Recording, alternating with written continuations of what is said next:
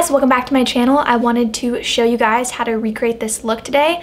I decided to go with something that was a little bit on the smokier side, but I didn't add any false lashes and I kept the lips on a nude peachy shade. So this is a very wearable daytime smoky eye look. I incorporated black and also brown, and I didn't want to do anything too extreme, just something that was very more simple and not so black, kind of with brown and black, so it's just not too much when you're going out and you just want to wear something a little bit out of your comfort zone, do something different, but still keep it smoky. So I thought you guys would really like this. Also, I wanted to add this is a look I did with Perfect 365. I mentioned in past videos about Perfect 365. I'm going to link in the description box the look in the app where you can filter yourself and get this exact same look without using any makeup. So it's pretty cool. I'll leave it down below for you guys to check out, but if you want to know how to get this look, please keep watching and I will show you how.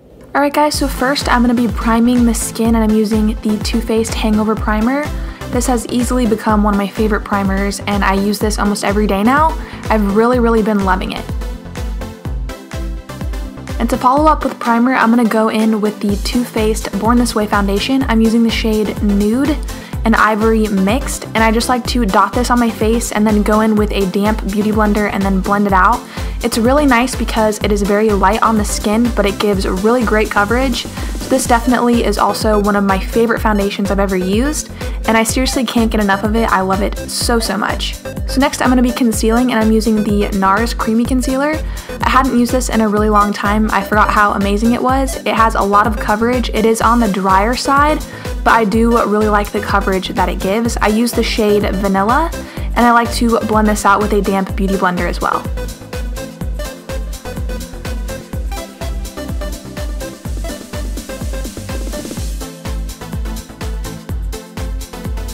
So next I'm going to be baking my foundation and concealer. So first I go in with the MAC Pro Set Powder and I go in with a thin layer and then I apply a little bit more and then I'm to let this sit basically for 5 to 10 minutes. I usually do my brows while this is baking. I like to do this for glam looks because this keeps my makeup on all night. My makeup does not budge. It is pretty much bulletproof when I do this. So while that sets, I'm going to fill in my brows and I'm using the Anastasia Brow Wiz. I'm using the shade Soft Brown and I'm just going to go in and outline my brows first, kind of give them a little definition, and then I like to go back in with the Brow Duo, which is the brow powder by Anastasia Beverly Hills, and I'm also using the shade Soft Brown which I think is a really nice color that complements my eyebrows. It's not too dark and it matches pretty well. And then afterward, I like to set it with the Anastasia Beverly Hills Brow Gel and I use the shade Espresso.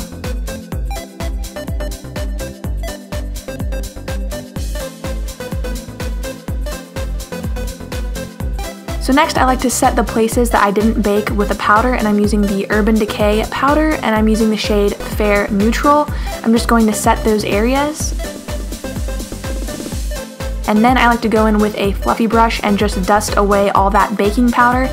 And as you can see, it did give a really nice highlighting effect, but ultimately this will keep my makeup on for a very long period of time, which I really like. So next I'm going to be going in with the Too Faced Milk Chocolate Soleil Bronzer. I'm also going to bring this onto my forehead to warm up my complexion and just give a little bit more definition to my face.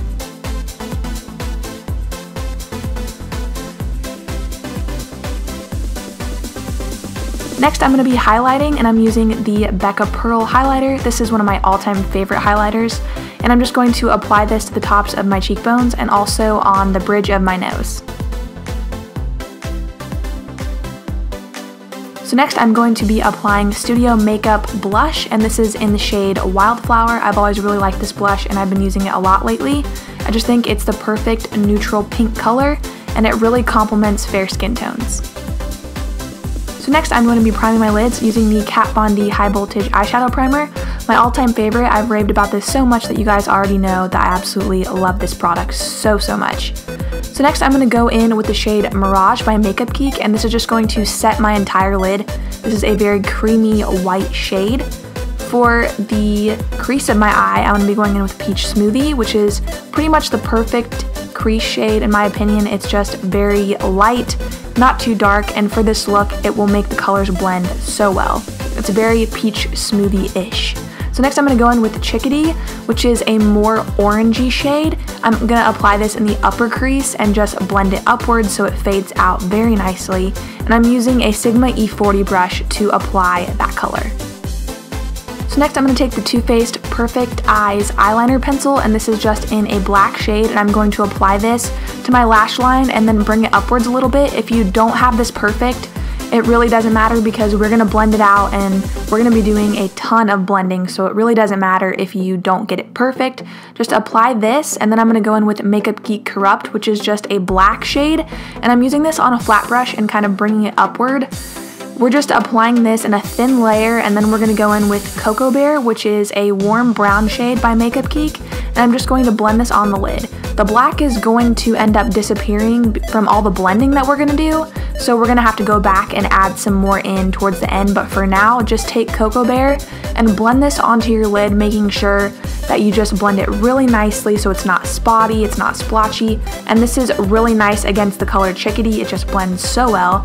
I'm still using the shade Cocoa Bear and I'm bringing this on the lower lash line. I just wanted to wrap this warm brown color all the way around my eye so it gives a nice smoky effect. And then I'm going back in with that E40 brush and I'm just blending all of that together so it's seamless. Next, I'm applying a bit of translucent powder under my eyes so when I go back in with the black, I don't get any more fallout. So I went right back into the black again and I'm just layering this on like I did before and then blending it out again with a different brush. This look honestly requires a lot of blending, so don't be afraid. I'm gonna go back in with Cocoa Bear again and blend that right on top of Corrupt. And then I just continue to blend. So basically this whole eye look is all about blending. Then I just go in with a clean brush and once again blend that upper crease. So next I'm going to take the shade Mirage and I'm going to apply this to the brow bone. This is just a really nice creamy white. It does have a little bit of yellow undertones in it, which I really like because it's not too much for the brow bone. So next I'm going to go in with an inner tear duct highlight. I'm using MAC Nylon, which is my all-time favorite for the inner tear duct. I'm just going to apply this there and then start to bring it up onto the lid slightly.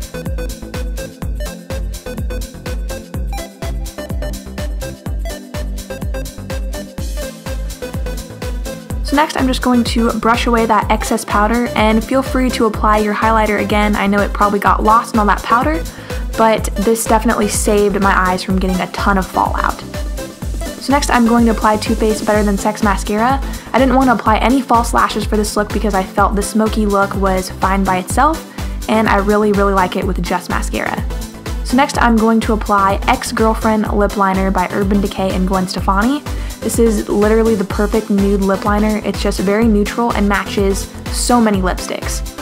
So for lipstick, I'm using a liquid lipstick. This is by Dose of Colors, and this is in the shade Bear With Me. This is just a really pretty neutral peachy nude shade. Definitely one of my go-to shades. And the Dose of Colors liquid lipsticks have always been one of my favorites. I have almost all of them because I just love them so, so much. But this one is definitely my favorite out of all of them.